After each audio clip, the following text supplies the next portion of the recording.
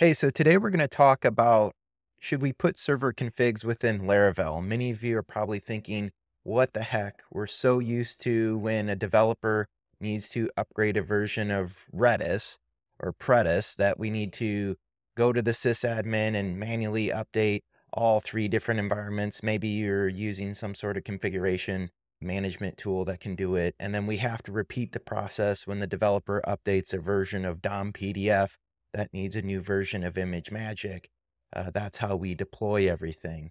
Now, in a more modern approach, what we're actually doing is we're bringing the developer and the sysadmin together, which some of you may have some different feelings on. But in this approach, what we can do is with the power of Docker and using Laravel all within the same repository, we can manage our entire stack. So you can see that we have Ubuntu, MariaDB, we have Redis, we have ImageMagick.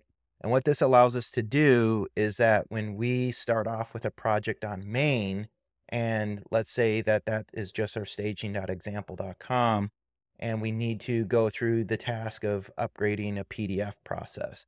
And let's say that process needs a new version of DOM PDF, we can deploy that together within that branch. So this is going to be DOM PDF 2, and then we have ImageMagick 7. And then in realistic world, we're going to want that uh, Redis upgrade. That's probably going to be somebody else's task. And you can see when we deploy these, we have different preview branches, which is really cool. So we can tag them based off the PR number.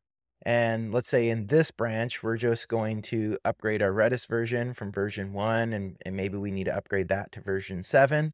And now they're totally separate. But when we merge things in, so we bring that into main, we still have our final source of truth for testing. And then the team that's working on the Redis upgrade, they still have their internal testing environment here we can pull those changes from main into Redis. That team can finalize their testing here. And then once that's approved, we can merge that into main for one final round of testing to make sure everything works together. And then we can create a release and deploy that out to production. Now, this is really cool stuff, but there's a few things to watch out for, especially with things like secret management you don't want to, since you're exposing yourself a little bit more of having these more sensitive configurations, you want to make sure that you're properly managing that. It all just depends on your team and how many people are interacting and who's responsible for what and who should have access. And when you start getting into this stuff, it's very easy to complicate CI processes in general. So, the biggest thing that you want to make sure that you're staying focused on is that the time that you're investing is supposed to return the time of savings. And so make sure that you're solving problems one thing at a time and making sure that they're actual problems and that you're not overcomplicating things. So, how do we do this? The way that I organize our infrastructure configuration is I just have a dot .infrastructure folder within my Laravel root. And then I I follow this high level down to the detail, I call it. I try to visualize like a triangle, right? So as we kind of scale down, as we're narrowing down, I break it into two different areas. There's configuration, so I just call it conf. And then that allows me to scale down to where I get into services, and services may have different configurations based off the environments. And then I finally actually get to the configuration file down below.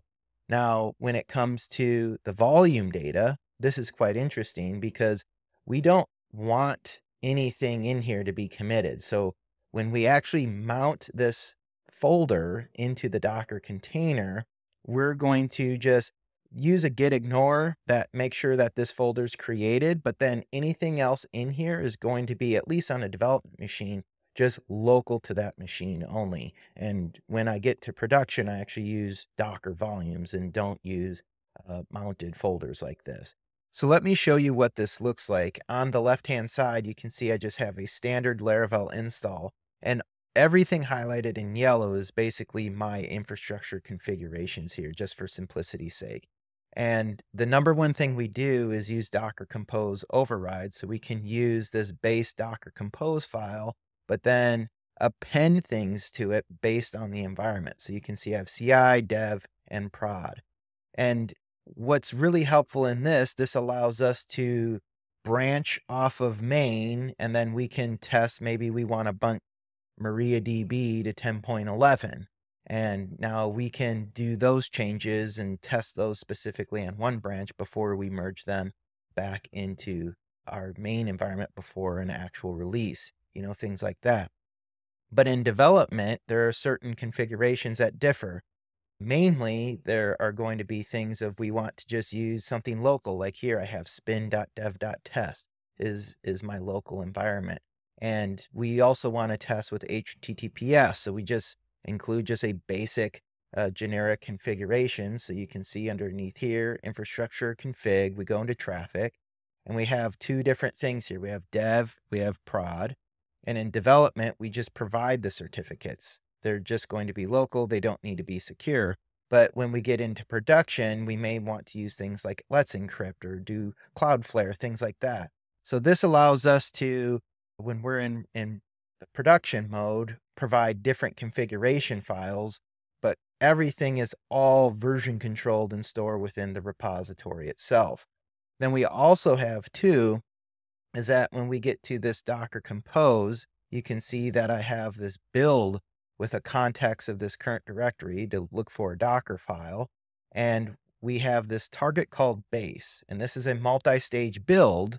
And so we say, okay, use our base image. This is our open source image. It's available on GitHub saying, okay, we want to run PHP version 8.2, and we're using the variation with PHP FPM and Nginx. And then it just says as base. So development, we're stopping here.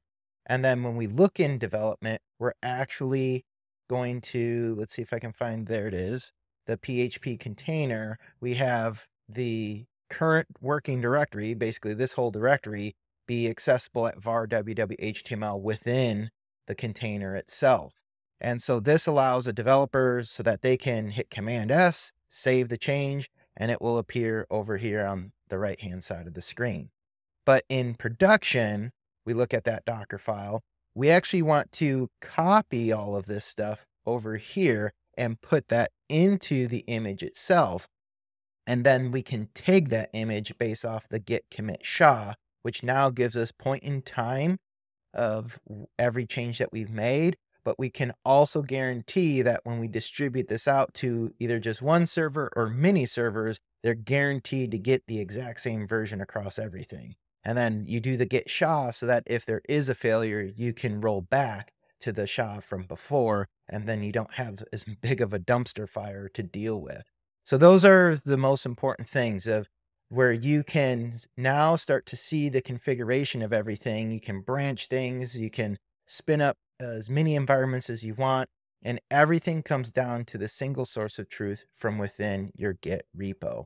And when you're looking at certain things of from a development perspective, not only can the sysadmin just say, hey, I'm pushing this config out, and developers really don't need to worry about configuring their local development environment because the sysadmin can just easily push that out.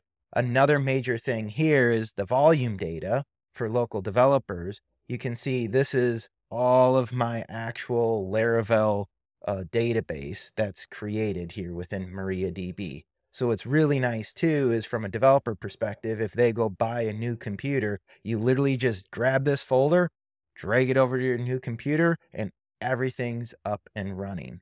So I hope you found this video helpful. You can find me at JD Rogers on Twitter and GitHub. I love to answer questions about CI processes, Docker. I'm working on this project called Spin, which is what we have here. Let me just do a quick demo of that. We can just do a quick spin up. And what this project does is it allows developers to just have a very simple uh, user experience with working with things like this. So it's all based off of Docker Compose. They can spin up their own environment. They can come over here and just press Control C. It's very similar to Laravel Sail, but what I'm working on is actually extending this out to where Spin will be able to manage not only your local development, but all the way up to production as well. So if you have any questions, please hit me up. I'd love to hear from you. Thanks.